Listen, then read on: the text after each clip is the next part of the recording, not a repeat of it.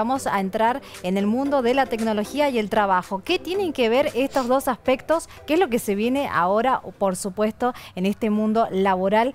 y ya estamos con una especialista en el tema, ella es Jimena Ayala, miembro del directorio de Valos y también funda, socia fundadora y presidente de Sílice. ¿Cómo estás? Bien, bien, mucho gusto a todos. Bueno, bienvenida. Contanos acerca de esto de la tecnología y el mundo del trabajo. Bien, en realidad estamos viviendo bajo una revolución que es la revolución del conocimiento. En algún momento fue la revolución industrial y pasó el tiempo y miramos hacia atrás y nos dimos cuenta que estaba esa revolución industrial. Actualmente nosotros estamos en el medio de la revolución del conocimiento y cuando pase el tiempo, mucho más corto por la velocidad en la que se mueve la tecnología, vamos a ver de que es muy importante las acciones que tomemos en este momento para poder adaptarnos y eh, progresar en el futuro. Qué difícil que es esto a veces de eh, incorporar la tecnología a nuestras labores cotidianas porque no siempre estamos preparados o tenemos el conocimiento, más allá de que estamos en esta revolución del conocimiento, ¿no?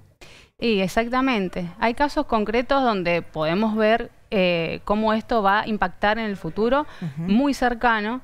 Bueno, un caso conocido por todos es el de los autos que se manejan solos, que ya son un hecho, y algo muy sencillo como esto, si nos ponemos a ver cómo impacta, impacta no solo a nivel de que quizá no necesitemos un auto y por lo cual el diseño de las casas cambiará, ya no se va a necesitar cochera, el negocio de los bienes raíces, podemos vivir más lejos y total mientras que vamos hacia nuestro trabajo o llevamos los chicos al colegio, el auto se maneja solo y podemos hacer otro tipo de cosas, o el negocio inmobiliario eh, el negocio de bienes raíces y también a nivel de, eh, de la forma en que los chicos van a, utilizar esa tecnología. Por ejemplo, pensaba mis hijos de 8 y 5 años, no van a tener la necesidad de sacarse la licencia de conducir.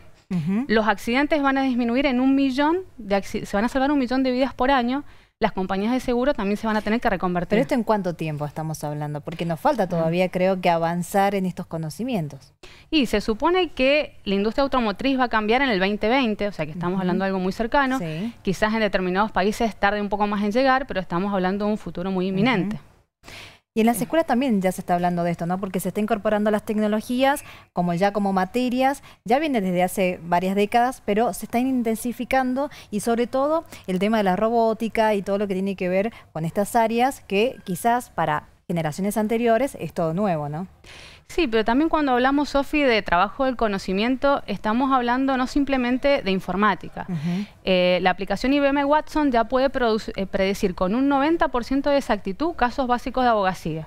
Eso significa que los abogados, que no tienen que ver con la tecnología, ya no van a tener que dedicarse a casos típicos o comunes o repetitivos, sino que van a tener que migrar hacia un conocimiento superior y hacer consultas más complejas. Y en este caso no solo estamos hablando de decir, bueno, poder manejar una computadora o montar servicios sobre las tecnologías, sino un nivel superior en lo que se está brindando como servicio.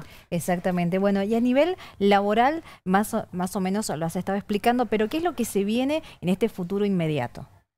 Y a nivel laboral se viene un cambio justamente como esto que se, está viendo, velocidades mucho más rápidas. Una gran cadena hotelera, por ejemplo, de, eh, había propuesto, se había propuesto para el primer año crecer en 30.000 habitaciones y Airbnb lo logró en dos semanas. Entonces la velocidad que estamos viendo en este tema de reconversión es fuerte. Y también los trabajos relacionados a eso, porque ya la agencia de turismo se va a modificar. Booking, por ejemplo, está modificando lo que es el trabajo de las agencias de turismo y están poniendo en jaque o en transformación, porque esto hablamos no de pérdida, sino de transformación, que es importante marcarlo. Por ahí no es la idea de generar psicosis de decir me voy a quedar sin, eh, trabajo. Algo, sin trabajo o algo que hacer, sino que estamos hablando de que va a tener que haber una reconversión. Y también nos vamos a tener que ir adaptando ¿no? a estos nuevos desafíos que nos ofrece esta revolución del conocimiento, de la tecnología, e ir adaptando nuestros trabajos a lo que se viene también, ¿no?